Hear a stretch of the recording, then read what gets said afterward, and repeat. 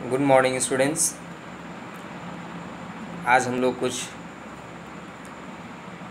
कक्षा दस की एन की जो सिविक्स का पार्ट है, पहला चैप्टर उसमें सत्ता की साझेदारी पढ़ रहे थे। सत्ता की साझेदारी में हम लोग आज जो चर्चा करने वाले हैं, वह है सत्ता की साझेदारी की आवश्यकता क्यों है? सत्ता के साझेदारी की आवश्यकता क्यों है? बहुत ही महत्वपूर्ण टॉपिक है। सत्ता की साझेदारी की आवश्यकता क्यों होती है? भाई, शक्तियों को बांटने की आवश्यकता क्यों होती है? इसी के बारे में हम लोग को पढ़ना है। यदि सत्ता के बंटवारे के पक्ष में दो तर्क दिए जा सकते हैं, यहाँ पर दो तर्क आपको बताया गया है। पहला तो यह कि सत्ता के बंटवारा ठीक है, क्योंकि इससे विभिन्न सामाजिक समूहों के बीच में जो टकराव होता है, उन टकरावों को कम किया जा सकता है। क्योंकि तो भाई, एक समाज में अनेक लोग निवास करते हैं और अनेक लोग रहने के बाद आपसी टकराहट होना ज़रूरी है, लाजमी है कि हो जाता है। आपस में लोग विभिन्न सामाजिक समूहों का हित अलग अलग होता है। लोगों की चाहत अलग अलग होती है, लोगों की सोच अलग अलग होती है। लोगों की इच्छाएँ अलग अलग होती हैं। तो समाज में जितने भी समूह होते हैं, उन लोगों के बीच में शक्तियों का बंटवारा हो जाने पर विरोध की अंदेशा, आपसी टकराव की अंदेशा कम हो जाते हैं। इसके अलावा राजनीतिक अस्थिरता का रूप ले लेता है, इसलिए सत्ता में हिस्सा देना राजनीतिक व्यवस्था के अस्थायित्व के लिए बहुत अच्छा है। यदि राजनीति में, यदि राजनीति में सामाजिक टकराव हो, सामाजिक टकराव से हिंसा होता है और राजनीति अस्थिरता का रूप ले लेता है, इसलिए राजनीतिक अस्थिरता समाज में न हो, लोग आपस में सारे लोग मिलजुल करके काम करें, व्यवस्थित तरीके से काम करें इसलिए सत्ता का बंटवारा ज़रूरी हो जाता है।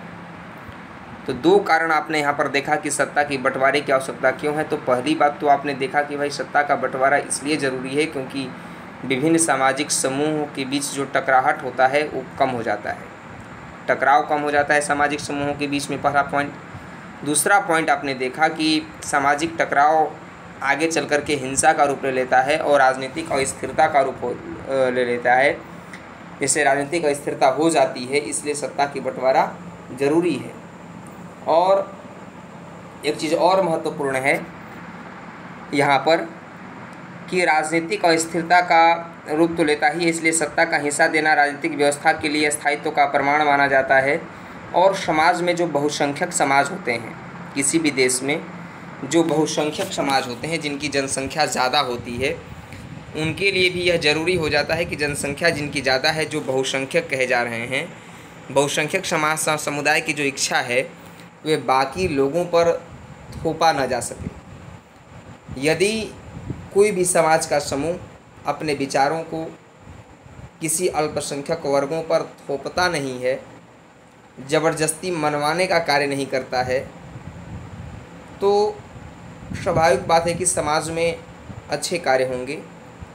समाज के लिए वो लाभकारी होंगे। आगे चल कर के देश के लिए, समाज के लिए एक अच्छी नींव पड़ सकती है। नैतिकता का विकास हो सकता है। इसीलिए सत्ता की साझेदारी ज़रूरी है। और यदि हम लोग कुछ पॉइंट देखें कि सत्ता की साझेदारी इसलिए भी ज़रूरी है क्योंकि बहुसंख्यकों का आतंक सिर्फ़ अल्पसंख्यकों के लिए ही परेशानी पैदा नहीं करता। अक्सर वह बहुसंख्यकों के लिए भी बर्बादी का कारण बन जाता है। जैसे श्रीलंका में आपने देखा कि सिंहला समुदाय जो है, मनमाने तरीके से, जो बहुसंख्यक में है श्रीलंका में सिंहाला समुदाय बहुसंख्यक में है। उनकी जनसंख्या श्रीलंका में ज़्यादा है। और श्रीलंका में मनमाने तरीके से जो कानून बन रहे थे, अल्पसंख्यकों के हितों का अनदेखा किया जा रहा था, उन पर कोई ध्यान नहीं दे रहा था। इसलिए बाद की स्थितियाँ पैदा यह हो गई कि जो अल्पसंख्यक समाज के लोग थे, वे अपने हितों से संबंधित मांग करने लगे, समानता की मांग करने लगे। और यह समानता की मांग आगे चल कर के इतनी बड़ी स्तर पे बढ़ गई थी कि वहाँ पर समाज में गृहयुद्ध जैसी समस्याएँ उत्पन्न हो गई। और गृहयुद्ध होना किसी भी देश के लिए अच्छा नहीं माना जा सकता। यदि श्रीलंका सत्ता की साझेदारी किया होता अपने यहाँ तो गृहयुद्ध जैसी समस्याएँ वहाँ पर उत्पन्न कतई नहीं होती। इसलिए सत्ता की साझेदारी लोकतांत्रिक व्यवस्था के लिए बहुत ज़रूरी माना जाता है। यदि सत्ता के साझेदारी है तो सत्ता की साझेदारी लोकतंत्र की आत्मा भी कही जाती है। क्या कही जाती है? इसे लोकतंत्र की आत्मा भी कहते हैं सत्ता की साझेदारी को। सत्ता के साझेदारी होगा तो लोकतंत्र भी अच्छे तरीके से देश में काम करेगा। वैध सरकार वही है जिसने अपनी भागीदारी के माध्यम से सभी सामाजिक समूहों को, सभी समूह शासन व्यवस्था से जुड़ते हैं। सभी लोगों को एक समान अधिकार प्रदान किया जाता है। सभी लोगों को अपनी अपनी बातें प्रस्तुत करने का अधिकार दिया जाता है। इससे कोई भी नियम यदि बनता है तो समाज की कोई भी व्यक्ति उस नीति का विरोध करने की हिम्मत नहीं करता, क्योंकि उसके भी परामर्श से ही यह कार्य होता है। उसे भी समाज में शक्तियाँ दी गई हैं। इसीलिए सत्ता के साझेदारी समाज के लिए बहुत ज़रूरी माने जाते हैं। समझ गए? सत्ता के साझेदारी समाज के लिए बहुत ज़रूरी माने जाते हैं। आइए अब हम सब कुछ महत्वपूर्ण चीज़ों की चर्चा करते हैं कि सत्ता के साझेदारी में जो सत्ता की साझेदारी के रूप क्या होते हैं इन रूपों पर चर्चा करते हैं कि सत्ता की साझेदारी के रूप क्या हैं। राजनीतिक सत्ता का बंटवारा नहीं किया जा सकता। इसी धारणा के विरुद्ध सत्ता की साझेदारी का विचार सामने आया था कि राजनीतिक सत्ता का बंटवारा यदि नहीं हो सकता तो कम से कम इतना तो ज़रूर हो सकता है कि सत्ता की साझेदारी किया जा सके। लंबे समय से यही मान्यता थी भी कि सरकार सारी शक्तियाँ एक व्यक्ति या किसी खास स्थान पर रहने वाले व्यक्ति समूह के हाथों में रहनी चाहिए। अगर फैसला लेने के लिए, यदि मान लीजिए आप सपोज़ दैट कि फैसला लेने के लिए, लेने की शक्ति बिखर गई तो तुरंत फैसला लेना और उसे लागू करना संभव नहीं होगा। यह भी एक बात ज़रूरी होता है कि यदि सत्ता की साझेदारी सत्ता को यदि बांट दिया जाए और जब विकट परिस्थिति में निर्णय लेना रहे तो सारे लोगों से कुछ करके निर्णय लेने पर तब तक बात बिगड़ सकती है। लेकिन लोकतंत्र का एक बुनियादी सिद्धांत ही है कि जनता की सारी राजनीतिक शक्तियों का स्रोत है। जनता ही सारी राजनीतिक शक्तियों का स्रोत है। इसमें लोग स्वशासन की संस्थाओं के माध्यम से अपना शासन चलाते हैं। व्यक्तियों का शासन होता है, लोकतंत्र जनता का शासन होता है। और जनता का शासन होने से विभिन्न सामाजिक समूहों और उनके विचारों को उचित सम्मान भी दिया जाता है। क्या दिया जाता है? समाज में जितने भी लोग होते हैं तो समाज के विभिन्न सामाजिक समूहों और उनके बीच विचारों को उचित सम्मान प्रदान किया जाता है। सार्वजनिक नीतियाँ तय करने में सबकी बातें शामिल की जाती हैं। जब भी कोई नीति बनता है तो उसमें सबकी बातें शामिल की जाती हैं, शामिल होती हैं। इसीलिए उसी लोकतांत्रिक शासन को अच्छा माना जाता है, जिसमें ज़्यादा से ज़्यादा नागरिकों को राजनीतिक सत्ता में हिस्सेदारी बनाया जाए। उन्हें शक्तियाँ दी जाएँ, उन्हें शक्तियाँ बांटी जाएँ, क्योंकि यदि उन्हें बांटा जाता है शक्तियाँ तो निर्णय अच्छे होते हैं, देश के लिए अच्छा होता है आधुनिक लोकतांत्रिक व्यवस्था में यदि देखा जाए तो सत्ता के साझेदारी के अनेक रूप हो सकते हैं। जैसे आप देख रहे होंगे कि पहला पॉइंट यहाँ पर दिया गया है कि सत्ता की साझेदारी का जो रूप है, इसमें आधुनिक समय में लोकतांत्रिक व्यवस्था में कि विभिन्न सरकार के विभिन्न अंगों, शासन के विभिन्न अंगों, जैसे कि विधायिका होती है, कार्यपालिका होती है, न्यायपालिका होती है, इन सब में सत्ता का बंटवारा रहता है। इन सबको शक्तियाँ दी जाती हैं। जैसे विधायिका कानून बनाने का कार्य करता है कार्यपालिका उसे लागू करने का कार्य करता है और न्यायपालिका उसका पालन भी करता है और उसका व्याख्या भी करने का कार्य करता है।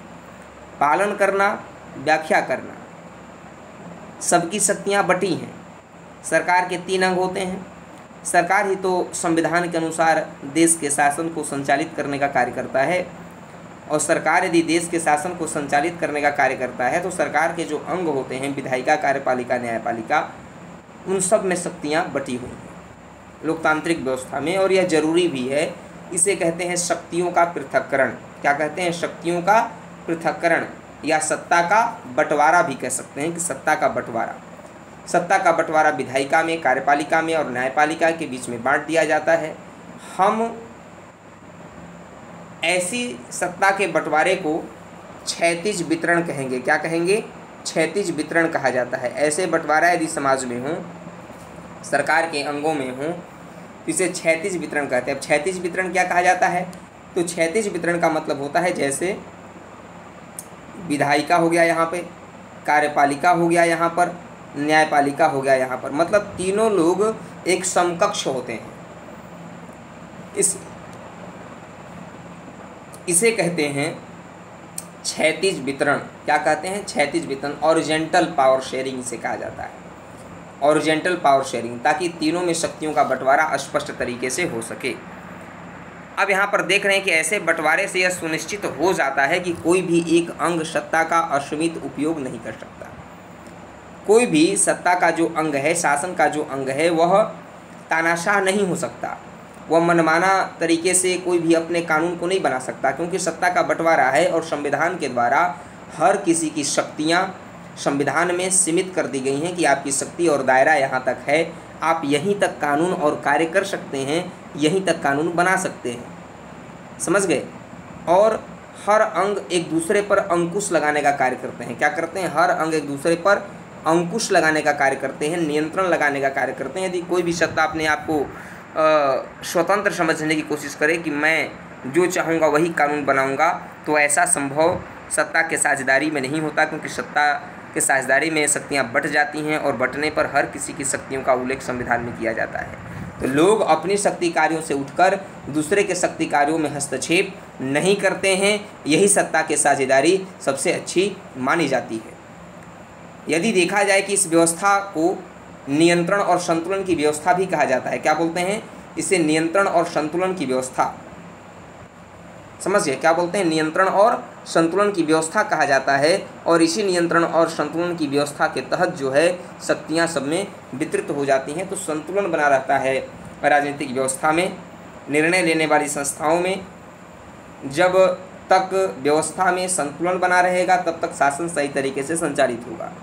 यदि आपसी संतुलन बिगड़ जाए तो देश की शासन भी बिगड़ जाएगा और नीतियाँ जो बन रही हैं, वह नीति निर्माण भी बिगड़ जाएँगे। समाज के लिए भला नहीं करने पाएँगे, इसलिए सत्ता की साझेदारी ज़रूरी होता है। तो एक सत्ता का रूप क्या होता है? पहला आपने देखा, आधुनिक समय में, आधुनिक लोकतांत्रिक देशों में, कि सरकार के विभिन्न अंगों में शक्तियों का बंटवारा कर दिया जाता है, जिसे विधायिका, कार्यपालिका और न्यायपालिका में शक्तियों का बंटवारा होता है। और यह क्षैतिज शक्तियों का बंटवारा इसे कहा जाता है और इस व्यवस्था को नियंत्रण और संतुलन की व्यवस्था भी कहा जाता है। आइए हम बात करते हैं दूसरा कि सत्ता के साझेदारी के दूसरा रूप क्या होते हैं? तो दूसरा रूप देख रही है आप लोग को यहाँ दिखाया गया है कि सरकार के बीच विभिन्न स्तरों पर शक्तियों का बंटवारा विभिन्न स्तरों पर भी किया जाता है। जैसे यदि भारत में देखा जाए तो भारत में तीन स्तर पे सरकारें हैं एक केंद्र स्तर पे राज्य स्तर पे और स्थानीय स्तर पे और ये तीनों स्तर में शक्तियों शक्तियाँ बांट दी गई हैं लोगों के बीच में क्योंकि आप देख रहे हैं कि फिर प्रा, मतलब पूरे देश के लिए एक सामान्य सरकार हो है ना? फिर प्रांत या क्षेत्रीय स्तर पर अलग अलग सरकार रहें तो पूरे देश के लिए बनने वाला ऐसी सामान्य सरकार को अक्सर संघ या केंद्र सरकार कहते हैं। क्या कहते हैं? केंद्र सरकार कहते हैं। प्रांत या क्षेत्रीय स्तर की सरकारों को राज्य सरकार कहते हैं और स्थानीय स्तर की सरकार को हमारे यहाँ पंचायती राज व्यवस्था और शहरों में नगर पालिकाएँ कहा जाता है। तो आप इस तरीके से देख रहे हैं कि भारत में हम इन्हें राज्य सरकार कहते हैं, जो क्षेत्रीय या प्रांत कहे जाते हैं। और उसके बाद एक स्थानीय स्तर की सरकारें भी होती हैं, जो शासन, जो संविधान में इस बात का उल्लेख होता है, केंद्र और राज्य सरकारों के बीच में सत्ता के बंटवारा किस तरह होगा, जिसे बेल्जियम में आपने देखा, यह काम बेल्जियम में स्पष्ट रूप से हुआ था। क्योंकि श्रीलंका में नहीं हुआ। श्रीलंका में नहीं हुआ। श्रीलंका में गृह युद्ध जैसी समस्याएँ उत्पन्न हो गई थीं। राज्य सरकारों के नीचे के स्तर की सरकारों के लिए भी ऐसी व्यवस्था हो सकती है, जिसमें न्यायपालिका और पंचायतें हों, ऐसी इकाइयाँ हों, जिससे कि नगर पालिकाएँ और न्याय पंचायतें भी सही तरीके से अपनी शासन का संचालन कर सकें। इसलिए यहाँ पर देखा जाता है कि बेल्जियम ने अच्छे तरीके से अपनी शासन को संचालित करने का काम किया था। बेल्जियम में एक और यहाँ पर बातें थीं कि ये जो सत्ता का बंटवारा होता है, सत्ता का बंटवारा जो यह होता है उच्च स्तर पे, निम्न स्तर पे, जैसे नगर पालिका और पंचायतों में शक्तियों को बंटवारा है। केंद्र स्तर पर भी है। राज्यों को, केंद्र ने कुछ राज्यों को शक्ति दिया और राज्य ने स्थानीय स्तर को शक्ति दिया। और उच्चतर और निम्नतम स्तर की सरकारों के बीच में सत्ता के ऐसे बंटवारे को ऊर्ध्वाधर वितरण कहते हैं। कैसा कहते हैं साथियों? ऊर्ध्वाधर वितरण कहते हैं। मतलब यदि सरकार के स्तरों में सरकार के अंग में बंटवारा होगा, यदि सरकार के अंग में बंटवारा होगा तो उसे क्षैतिज बंटवारा कहा जाएगा। क्या कहेंगे उसे? छैतीस बंटवारा कहेंगे। ये छैतीस बंटवारा का दिखाई दे रहा है ऑरिजेंटल पावर शेयरिंग है। लेकिन दूसरा यदि बात किया जाए, से ये तो पहला हो गया, यदि दूसरा बात किया जाएगा तो दूसरा में आप जैसा कि देखने पा रहे हैं, इसमें होता है कि केंद्र स्तर होता है, राज्य स्तर होता है और स्थानीय स्तर होता है। मतलब यहाँ पर ऊपर में केंद्र स्तर, यहाँ राज्य स्तर, यहाँ स्थानीय स्तर। तो तीनों में शक्तियों का यदि बंटवारा होता है तो इसे कहा जाता है ऊर्ध्वाधर पावर शेयरिंग क्या कहते हैं? ऊर्ध्वाधर शक्तियों का वितरण इसे कहा जाता है। इसे तीन स्तरों में बांट दिया जाता है। तीन स्तर के बंटवारे को इंडिकेट करता है और यह सरकार के तीन अंगों के बंटवारे को इंडिकेट करता है। ऐसे सामने बंटवारा होता है। समझ गए? तो उसके बाद हम देखें, इस अध्याय में आप तीसरा शक्ति के बंटवारे को भी देखेंगे कि तीसरा शक्ति का बंटवारा कैसे होता है है ना? तो अब मसलन क्या होता है कि सत्ता का बंटवारा जो है, विभिन्न सामाजिक समूहों में भी होते हैं। क्या होते हैं? विभिन्न सामाजिक समूहों में भी सत्ता का बंटवारा किया जाता है और इसमें सामाजिक समूहों, भाषाई और धार्मिक समूहों के बीच में शक्तियाँ बांटी जाती हैं।